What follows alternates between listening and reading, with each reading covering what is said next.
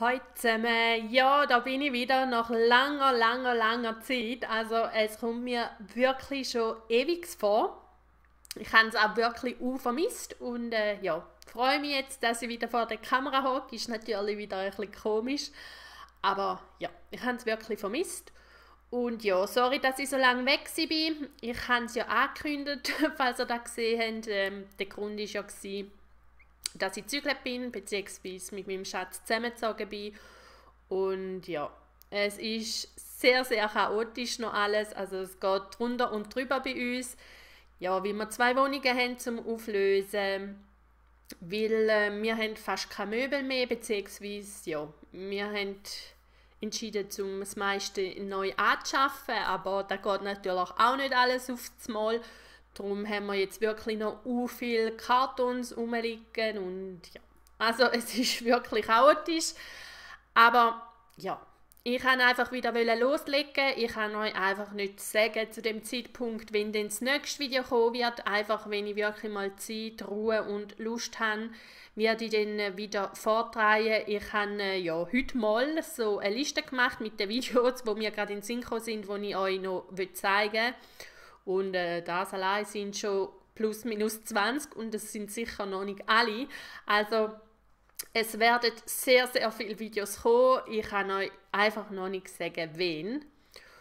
Und ja, damit da einfach nicht das Hallo-Video bleibt, habe ich entschieden, ich zeige euch heute gerade noch meinen Dufti Februar. Es sind sehr, sehr wenige Sachen. Hauptsächlich, weil ich natürlich nicht von Anfangs an düftelt habe, also von Anfangsmonat, sondern ja, so gegen Mitte, glaube ich, angefangen habe. Zum Zweiten wird es generell jetzt in Zukunft immer weniger sein, weil, ähm, also wo ich euch zeigen werde, es wird natürlich jeden Monat kommen, aber durch das, dass mein Schatz leider auch Migräne hat und ähm, die Düfte nicht so vertreibt oder allgemein nicht vertreibt, haben wir jetzt so abgemacht, dass ich äh, hauptsächlich in meinem Zimmer sozusagen, also da, Düftle tun und dann eventuell zu einem späteren Zeitpunkt noch im vierten Zimmer. Das ist noch nicht sicher, aber ja, früher habe ich halt, als ich noch allein gewohnt habe, jeden Abend in drei Zimmer düftelt. Dementsprechend auch mehr verdüftelt. Ja, jetzt ist halt ein bisschen weniger. Was aber auch was Positives hat, dass ich momentan nicht mehr so extrem viel bestelle, weil ich ja schon so viel Wachs habe und ja, jetzt halt auch länger braucht zum Aufbrauchen. Aber ja, ich möchte euch natürlich gerne zeigen, wann ich verdüftet habe. Also, ich habe das Düfteln auch vermisst, die paar Wochen, wo ich nicht düfteln Und ja, ich würde sagen, zeige euch die jetzt. Und ähm, ich habe es jetzt auch nicht sortiert nach europäischen USA-Shops, weil es wirklich so wenig ist, sonst mache ich ja da auch. Meine Favoritenkiste ist sozusagen, glaube ich, irgendwo noch eingepackt.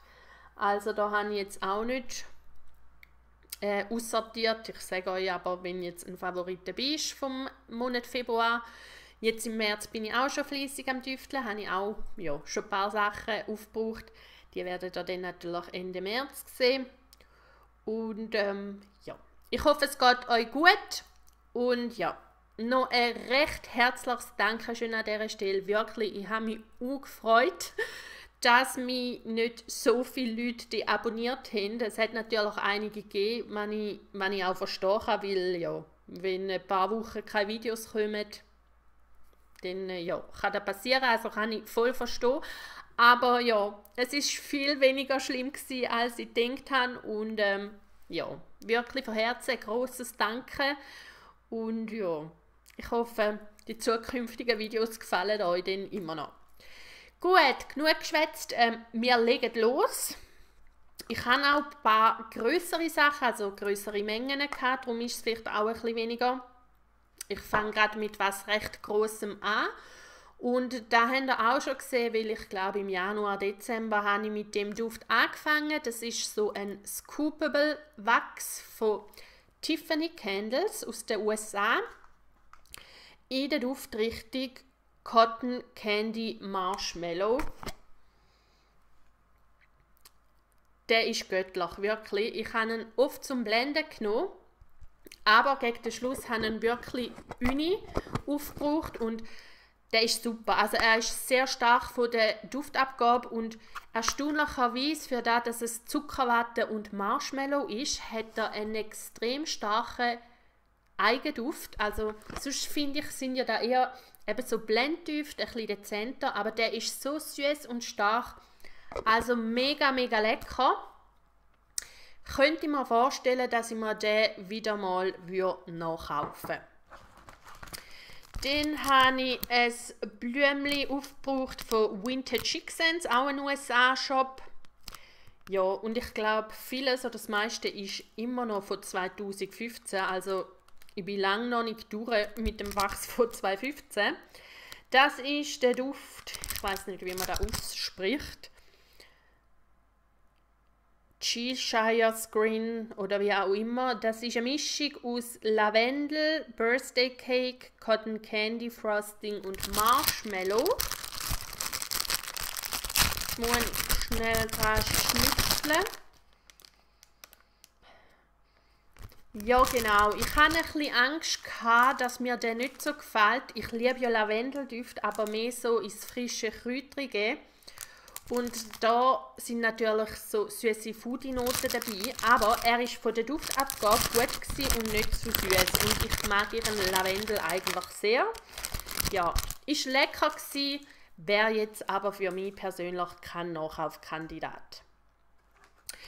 Den Luft, wo mich wirklich mega überrascht hat in warm, ist von Beautiful Fragrances und zwar der Duft Agave Lime ich hoffe, es ist nicht so dunkel, aber eben, wir haben auch noch nicht Lampe, also die an der Wand oben. Aber ich glaube, es geht. Und ja, in kalt habe ich gefunden, der hat ein bisschen eine komische Note von dem Agave, aber in warm ist der Hammer gewesen. Also er hat eine starke Duftabgabe gehabt. Die Limette ist erstaunlicherweise nicht einmal so extrem vorgekommen, sondern eher das Agave und ich habe glaube vorher noch nie einen Agave-Duft gehabt und oh, herrlich. Ich würde ihn nicht einmal als fruchtig einstufen, sondern der hat für mich mehr so ein bisschen einen Sparcharakter gehabt, einen frischen Sparduft und wirklich intensiv und ja, knapp an meinen Favoriten vorbei, aber könnte mir auch gut vorstellen, dass sie mir den wieder mal nachkaufen wenn ich nicht schon so viel Wachs hätte. Dann eine von den Bestseller von Wohlfühlmomente von Doris Duftstübli. Ich habe eine ganze Bag aufgebraucht in der Duftrichtung Kaffee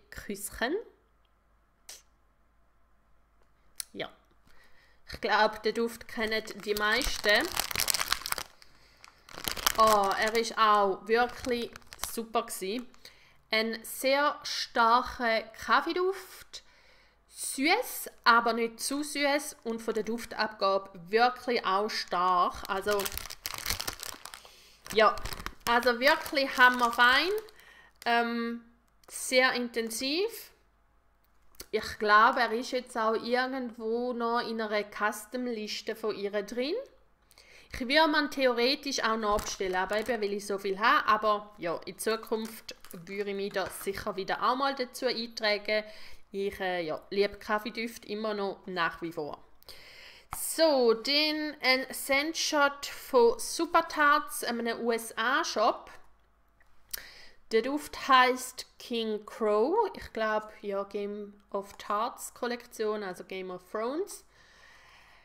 Den habe ich ausgemacht. Da gibt es wirklich selten. Meistens, ähm, ja, wenn ich merke, oder ich verträge ihn vom Kopf her nicht, oder wenn ich merke, äh, Migräne fängt an und ich habe wirklich den Migräne gehabt. Das ist eine Mischung aus Snowy Peppermint und AF Fierce. AF Fierce ist, glaube oder ist ein bekanntes Parfüm. Ich glaube, ein Herrenparfüm. Und ja, die Parfümnote ist auch die dominante Note gewesen. Also sehr dezent. Die Pfefferminznote hat man schon wahrgenommen, aber es ist definitiv ein sehr schwerer Herrenduft. ein bisschen in die Herbrichtung gehen und ja, also der, die Duftkombi an sich hat mir schon auch nicht gefallen und wie gesagt, ich habe den ja, kurz darauf wirklich Migräne bekommen und dann haben ihn abgemacht und ja, also definitiv kein Nachkaufkandidat. Ja, dann haben wir noch drei Sachen, dann wären wir auch schon durch. Von Front Porch, das ist ein Meld von letztes Jahr, den habe ich letztes Jahr gekauft, habe ich, ich glaube, ja, es sind so zwei Gravitards aufgebraucht, in der Duftrichtung Lavender Eukalyptus und der hat mich auch mega positiv überrascht in warm, weil so in kalt duftet es hauptsächlich nach recht starkem, fast so ein bisschen stechendem Eukalyptus. Ich denkt, oh oh, hoffentlich ist er in warm dann nicht so extrem. Aber der auch. Also von der Duftabgabe sehr intensiv, aber er hat auch mehr so eine Sparnote als wirklich so was Kräutriges, Frisches. Also der Lavendel ist dann wirklich noch gut rausgekommen und ja, also ganz ein schöner Duft und wenn ich mich nicht täusche, habe ich glaube den nochmal in meiner Sammlung. So, der zweitletzte Duft ist ein ganze Bag, den ich aufgebraucht habe und zwar von der Firma Rose Girls. Ähm, sehr bekannte Firma in den USA. Ja, eine der begehrtesten, würde ich fast sagen. Ich verstehe es ehrlich gesagt nicht so. Also ich habe jetzt einiges von ihnen probiert. Ja, ich finde es gut, aber nicht hervorragend. Drum also ich habe jetzt, glaube ich, noch ein oder zwei Bags von dieser Firma und ähm, verspüre eigentlich nicht zu verlangen, um dort nachzubestellen. Da habe ich den Duft Oh La La aufgebraucht. Ich weiß da leider nicht mehr die genaue Duftbeschreibung. Und ähm, ja, vom März 2015, also zwei Jahre alt. Aber ich muss sagen, die Duftabgabe ist wirklich gut bis stark gewesen. Ich habe da rausgeschmückt Pink Sugar und irgendwas Keksiges. Ähm, ja. Eben, Pink Sugar mit, mit Keks oder Pie Crust oder was auch immer gibt es ja in vielen Shops. Ist ein bisschen ein üblicher Blend. Habe ich eigentlich auch sehr gern. Pink Sugar nach wie vor mein Lieblingsduft.